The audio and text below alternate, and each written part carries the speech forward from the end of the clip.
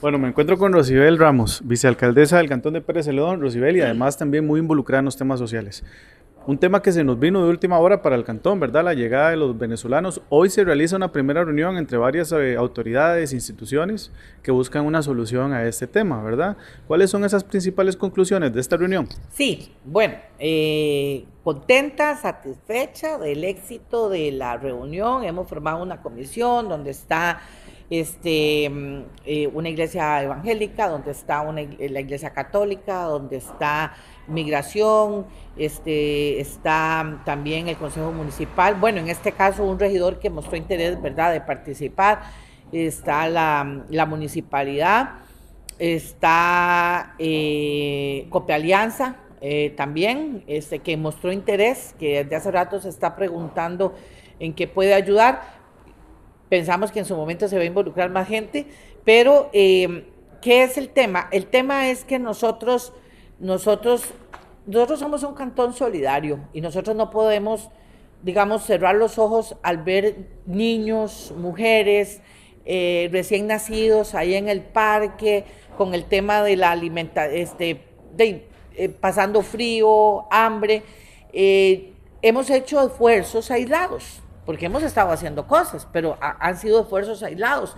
Por ejemplo, sabemos que la Iglesia Católica ha estado en algún momento colaborando, Peseta Cebaña, que también está haciendo parte, Peseta Cebaña, este, que también ha estado dando alimentos, nosotros también hemos estado dando refugio eh, ahí en el Polideportivo, que mantenemos unas villas, nosotros también hemos estado dando refugio, pero, pero si no nos organizamos bien, la idea ya no, no seguir eh, eh, colaborando aisladamente, sino que ya que exista una comisión, que se vaya fortaleciendo, inclusive vamos a iniciar con una campaña que se llama Peseta por Venezuela.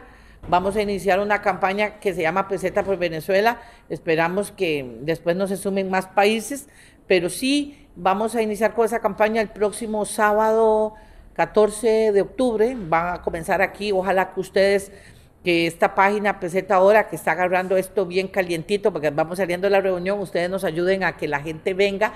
Vamos a poner en las páginas qué son los, em, los artículos que necesitamos ¿verdad? Porque no es tampoco cualquier cosa, ¿verdad? Porque hay unos, eh, algunos compañeros se van a encargar de cocinar, otros compañeros vamos a, dar refugio. Entonces, este, es importante que vamos a estar ahí promoviendo cuáles artículos vamos a necesitar.